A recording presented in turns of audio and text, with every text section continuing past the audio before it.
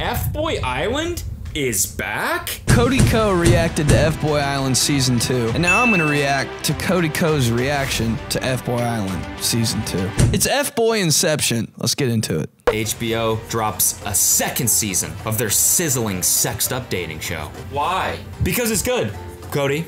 That's why. I don't trust anyone who likes F Boy Island this much, and I was on the show. It's three girls and a bunch of dudes. Half of the dudes are Way too nice many guys. dudes. The F, of course, stands for family. I'm kidding. It stands for fuck because that's all these guys are there to do. no, it doesn't stand for fuck. It stands for find love. The girl's job is to filter out the F boys and end up with one of the nice guys in the end so that they can bring him home to their F family. This year it looks like they're in a new location, Cabo San Lucas. It's a nice little escape if you have an extra $15 million. Why'd they make Nikki Glazer look like the most successful realtor in Cabo? look at her picture. House is $15 million and it only has one bathroom on the main floor.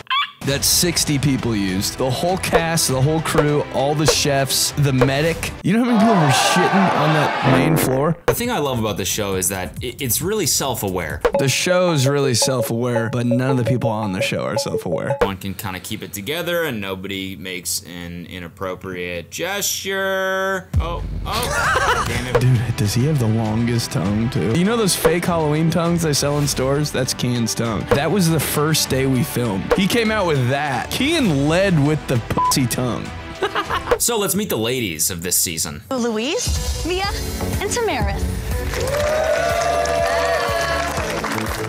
They can't even do simple shit without like competing with each other. Like they were all, yeah, they were all clapping, yeah, and that one guy like looked around and was like, wait, I'm the alpha here. I, I can't be clapping. We'll do this. And the other guy was like, I'm the alpha, so I'm gonna do this. I'm the alpha, so I'm gonna just do that. I'm, I'm glad it didn't show me. I was probably sitting there like, How are they going to even begin to weed through 26 guys? How do you start? Well, you start with a catwalk, dumbass. How else are you supposed to disarm an aggro protein man? Yeah! he needs to finish this season because we're not aggro protein men. We're soy boy crybaby. You know how many lips quivered on this show? I cried. Mercedes might have cried. Asante cried. Tom definitely cried. We could have filled up the pool with our tears. I mean, these guys look cool, right? They'll probably come up with some cool, slick moves that aren't super weird and cringe, right? Oh, that was cool. Well, I hope too many guys don't do the lasso slash fishing rod move. Oh.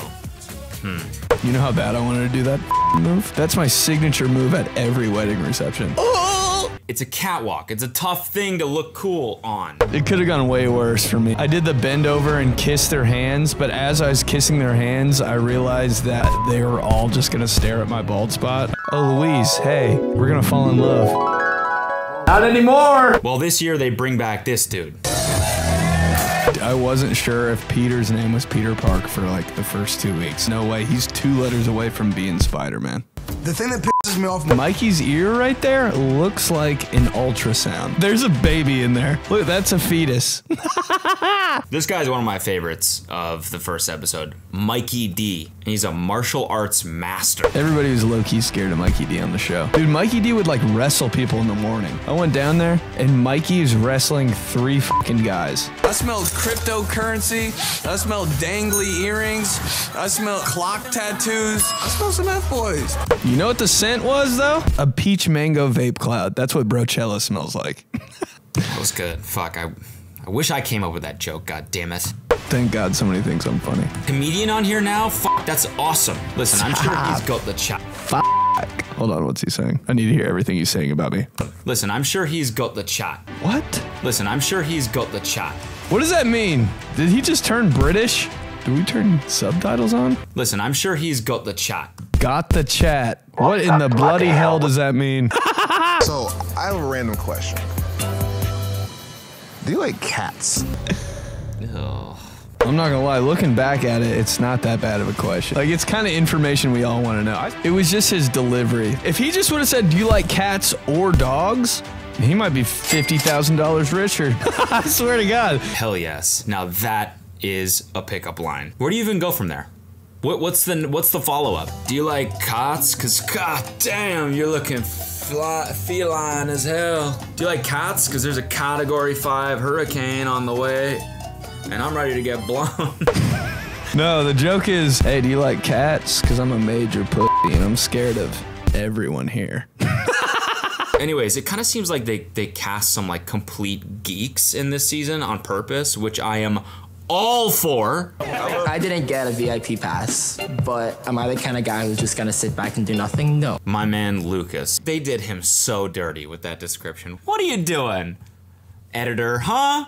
You did him dirty. Dude, we got to make those descriptions and titles. He typed that in and they used it. Everything Lukash did was carefully calculated. I really like that though. I, I kind of hope that they keep just going further and further into detail on those little descriptions. Sam, weird birthmark on his ass, bicycle shop owner. What's Cody Ko's? Cody Ko, YouTuber and has hair from Boy Meets World.